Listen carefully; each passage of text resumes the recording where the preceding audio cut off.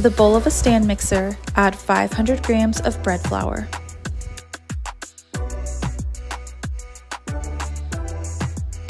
And 10 grams of salt. Briefly whisk to incorporate.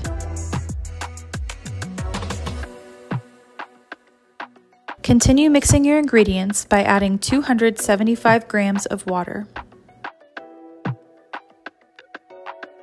And your active sourdough starter.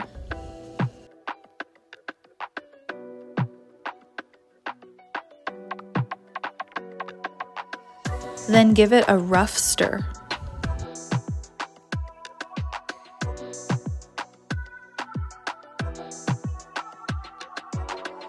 Transfer to a stand mixer fitted with a dough hook and begin kneading at a low speed, speed 2 on a KitchenAid until the dough comes completely together. After the dough has come together, add 3 tablespoons of softened butter, one at a time, allowing each tablespoon to fully incorporate before adding the next.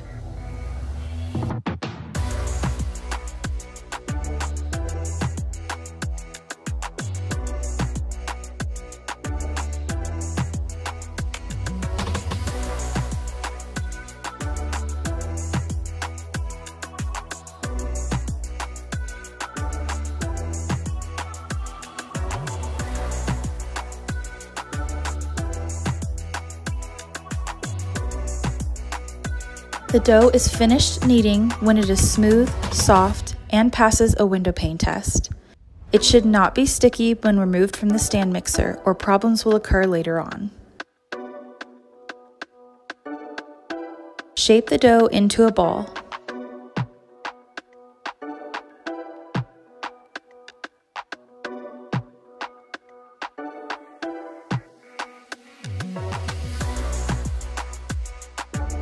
Then place it into a bowl or back into your stand mixer to proof. Cover with plastic cling wrap, a damp towel, or a lid. Let it rise until it has increased in volume by at least 50%, 4 to 12 hours. After the initial proof is complete, divide your dough into six equal portions. You can eyeball this or use a scale.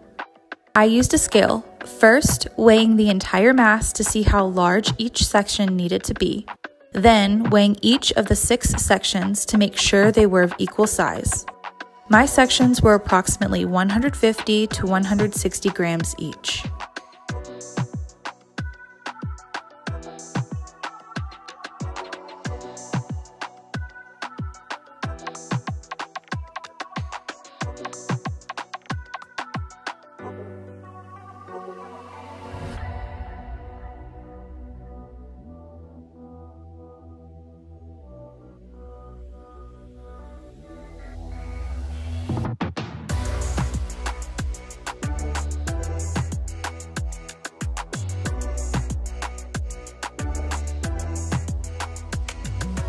Pre-shape each pretzel by rolling each ball into a 24 to 27 inch long rope.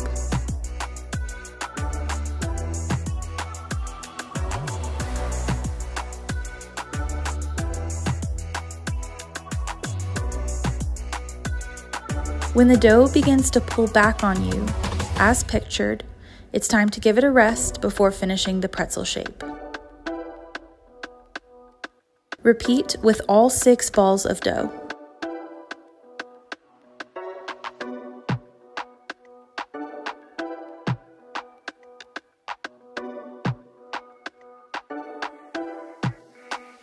Rest for 15 minutes, allowing the gluten to relax before shaping into a pretzel. Meanwhile, clean your work surface.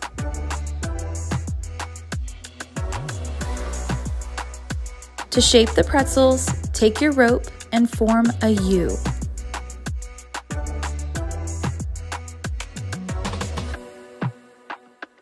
Cross the two ends over each other so that your shape becomes like that of a fish. Repeat this one to two more times for your pretzel's middle twist.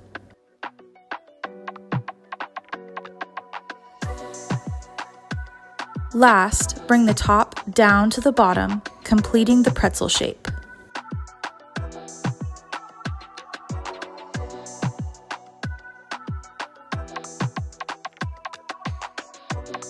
Repeat with the remaining dough portions.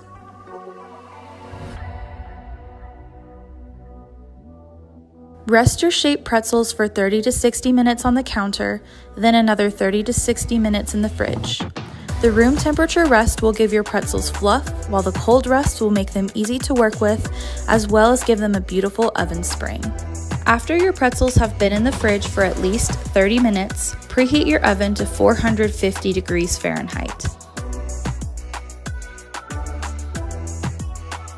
Bring 6 cups of water to a boil.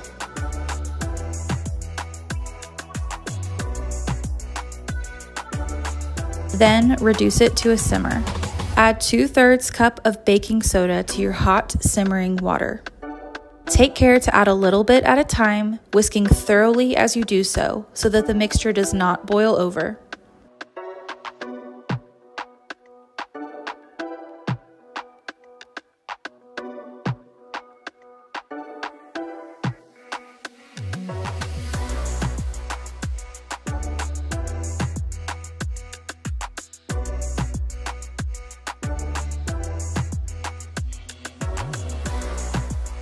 After the baking soda is completely dissolved, add 3 tablespoons of honey to the pot and whisk to dissolve.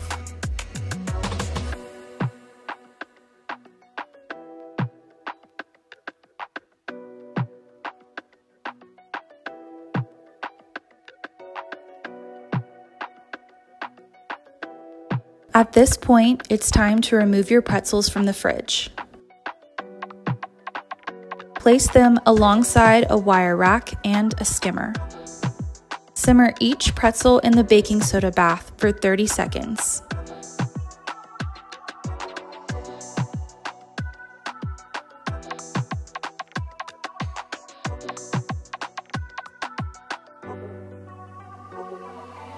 Place them on a wire rack to drain completely.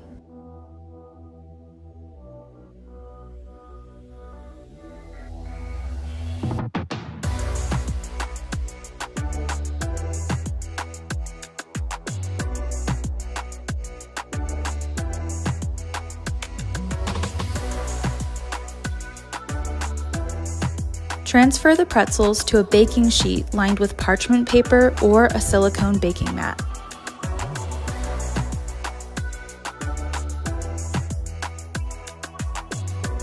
Salt the pretzels with a coarse, flaky, or pretzel salt.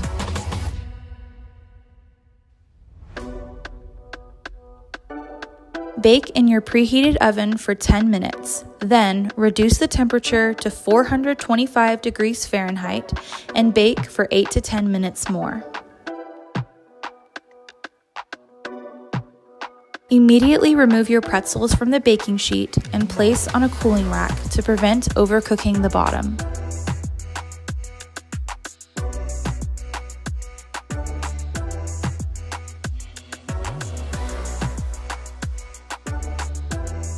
And there you have it sourdough soft pretzels.